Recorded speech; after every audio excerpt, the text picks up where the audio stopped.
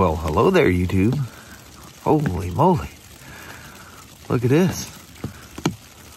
It's been doing this since we got up this morning. The low temperature last night was 33 degrees. The temperature right now is 33 degrees. And it hasn't stopped snowing like this since, I don't know, 7 or 8 this morning. First time I noticed it. When I got up, I looked out the window. Whoa, Kelly, it's snowing. She goes, Yeah, it's been snowing all morning. So who knows when she got up. But at 33 degrees, it is just not sticking. It gets whiter at points when it gets that real slow, heavy, slow moving flakes. But you can see it's just not freezing. So it's got an umbrella out here. Pardon the waving around. I'm trying to keep from hitting trees and knocking the camera out of my hand. See, umbrella. It's an old Fox one. Had this thing for a hundred years, it seems like. Literally, probably 15 or more years. Geez, that's back at the old, old Longview store. It could be close to 20 years by now. How long have I been there? Almost 24. But yeah, this is the way it's been this morning. She's just been away laying. Just, you would think it would stick at some point. It's pretty though. Yeah, the, the roof was completely white earlier. So uh, even though the temperature hasn't changed, it's like changed. If that makes any sense. Could just be the wetness of the snow. It might be getting wetter as the mornings come along. I can see it starting to stick in the pine trees over there. It was probably a lot fluffier before, but I didn't come out this far and look. Anyway, welcome to Sunday. It's supposed to do, the weather says it's supposed to do this until 7 p.m. tonight. So there we are. There's our weather forecast. I don't think there'll be any motorcycle rides today, huh? Probably not. So it's 2 o'clock. It's warmed up to 37 degrees or it's bouncing between 36 37 we'll just call it 37 stopped snowing. Um, when the snow stopped and the temperature went up man that that slush melted so fast and just woof, it was gone. But anyway i'm gonna go to home depot. Kelly's gonna play with her. She goes that uses up my whole day going there. She goes i got some craft stuff i want to do. So she's gonna do that and i'm gonna go look at those uh dewalt um tough tough box or whatever they called 2.0 for uh, putting my RC car stuff on instead of having, you know, tubs laying all around. It's using up all my space for for working on my RC car. So I'm gonna go go look at those boxes. I like the Milwaukee's, but if you're carrying them in your car, they're very bright and red and crazy expensive. They're like half again more expensive. But I'll look at those too and see if it's worth the. That was a quail that just took off. See if they're worth the extra price, but get some of the stuff organized. Plus, it rolls like a, you know, like a hand dolly. So that makes it nice for going whatever. And they're big enough you could even stick a car in there if you organized it right. But let's go. Let's go to Home Depot. Good old, I can't turn around far enough. But I got the, the three piece thing, the lower, the mid one, and then the, I think a lot of people call it the suitcase at the top. And uh, that'll, that'll get me covered. More stuff in there than that. You know what you do the old saying when you get a bigger toolbox, can't speak, uh, you end up getting more tools. Hope that's not the case. But it'll clear off Kelly's little little nook there. I got 90% of that stuff off of there. That'll, that'll be nice. But uh, let's head for the head for the hacienda. Danny act like I was gone for a hundred years. Yeah. Are you happy to see me? He's trying to crawl in the car and everything. That's what I bought. The This is the one that has the dolly attached to it, basically. That's the mid box and the top box. I had another one that was kind of clear and had a bunch of trays in the top of it. And I don't know. I decided not own that. That'll pack a bunch of stuff right there. Whole bunch of stuff. While it's empty, it's actually really light. But uh, she'll pack some, she'll pack some meat. All right, get in here and organize. See what the mama's up to. Man, those DeWalt tool chest things, whatever you want to call them. Tough box, I think, or whatever they call them. Tough storage. They got a name for them.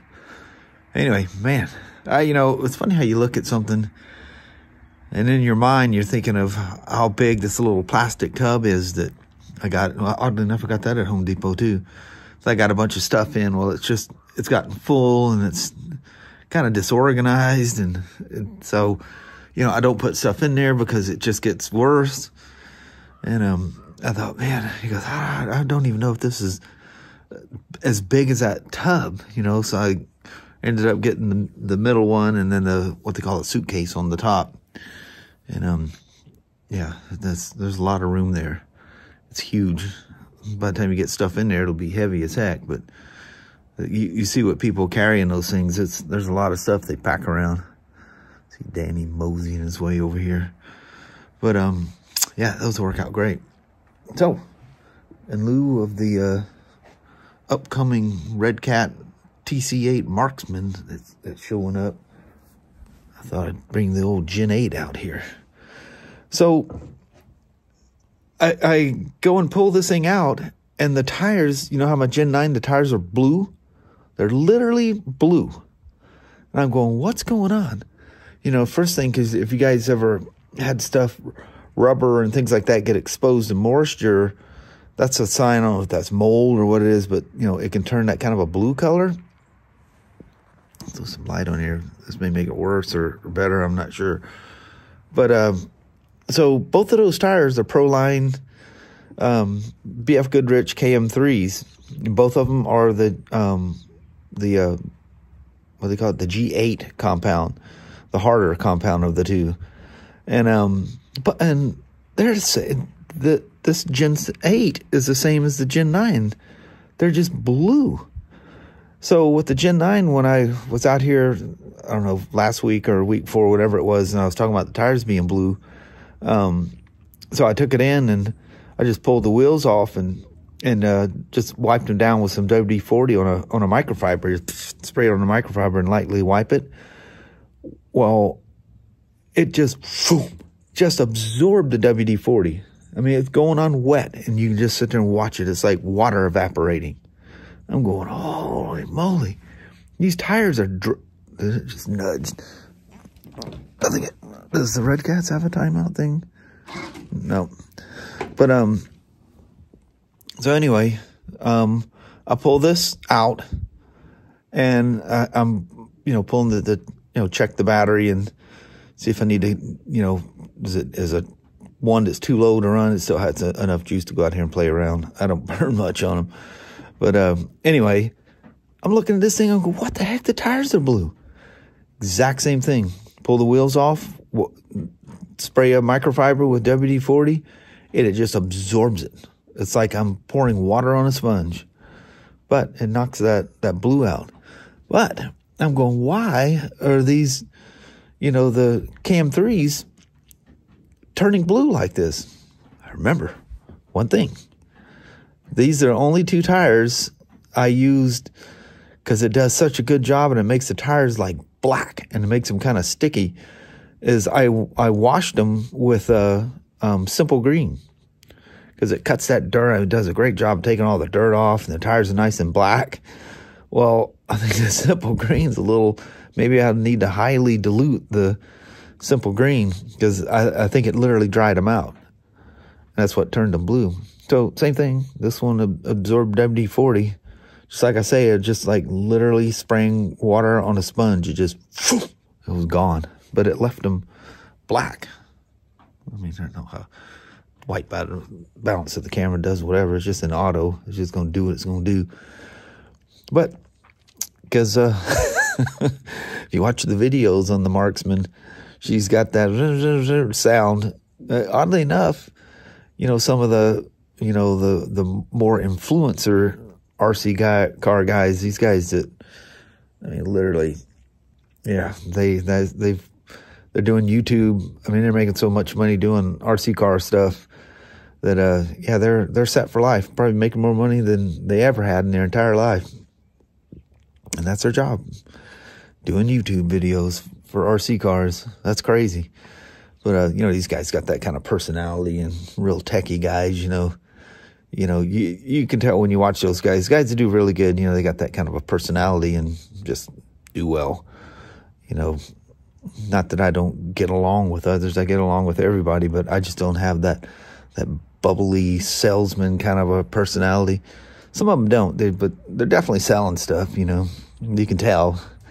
But, uh, and then some of them are really cool. There's a couple of guys that I watch that, even though, you know, they're very, very large YouTube channels and, you know, making great money, they, uh, they're, they're pretty shooting from the hip. If it's bad, as they say it. But anyway, again, Lord, I can divert.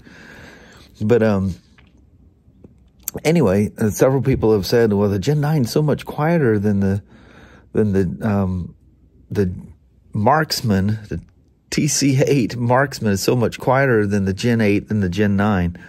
And, um, anyway, uh, from what I hear on the videos, it's actually quite a bit louder. But I get, they said under power, it makes, makes more noise. But, uh, when I was holding them up and just, you know, held it wide open, it, it, it is, is quieter. This thing just makes noise all the time. That's just what they do. Good Lord. I can rattle on about nothing quicker than anybody you know. Hey, Magoo. What's up? He was so excited when I got home. That was crazy. Back to a good old scale crawler. It's big, it's heavy, and in the case of this, it makes noise. But I don't care. So I guess they, uh, that underdrive for the marksman is uh, is the underdrive kit for for this Gen 8. And I think it fits the Gen 9 too. Thought all those things were different.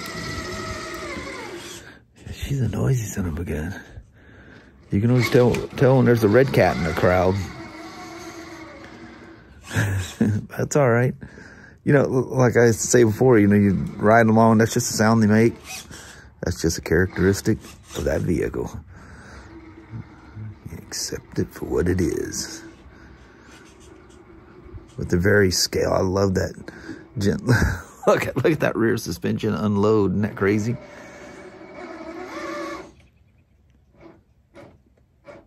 Fusion Pros. It's funny how many people have switched those Fusion Pros and even the Fusion SEs as well. But a lot of people, some of them start out with the with the Fusion SE because they're way more budget minded, and um, and then they they eventually try a Pro and oh they're done there. Once you go Pro, you never go back.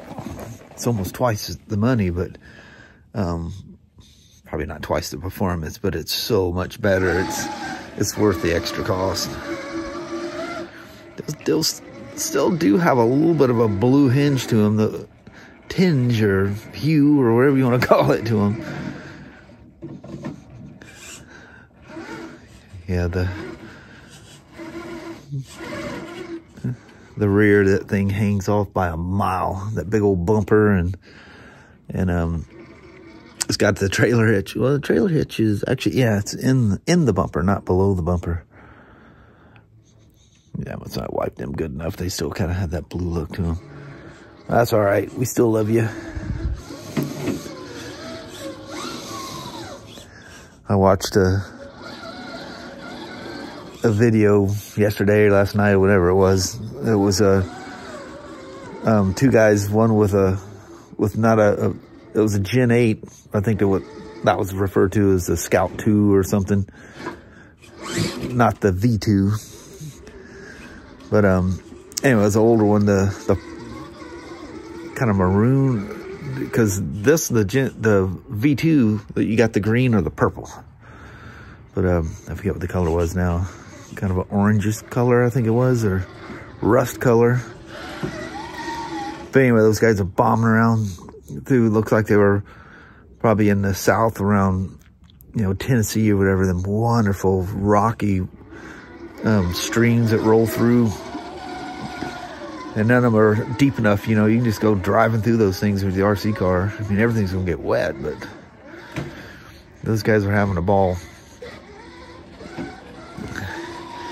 It's amazing how many people still have. Well, you can still buy this thing. I think you can. You know what? I I was looking at their site because you know their their advertisement for the uh, the marksman and some other things being on sale is that they're making room for new stuff. So, I mean, they've been doing that ascent. I mean, they're just knocking it out of the park with with some of these things here lately, and I'm sure they got more irons in the fire. Uh, the ones that aren't selling well, the marksman just took off like crazy to begin with, and it was kind of like the Gen Nine. You know, the Gen Nine, that older what they call it, the C800 or 800C, whatever that older body style of the of the International Scout. Um, just didn't appeal to people. Lovely, that thing's fantastic. I just it just performs so well, and it's so scale looking, and it's and it's well, so does the Gen 8 too.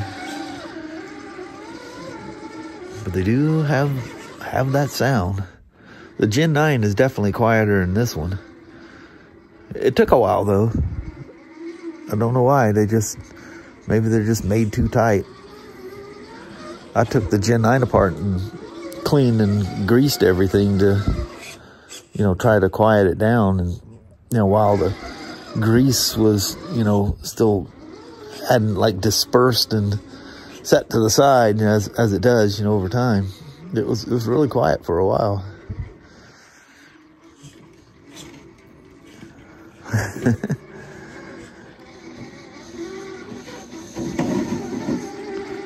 My rear end, she just hits everything.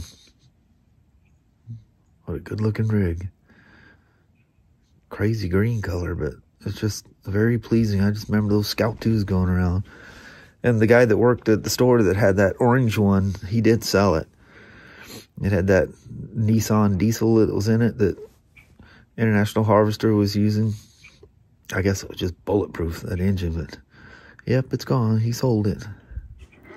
Well, I think on that, I'm to piddle with this thing, play a little bit more, and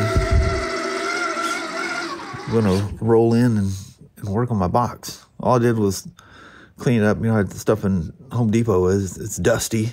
and then it has the all the labels. Pardon me, the labels on it. So I cleaned all that up.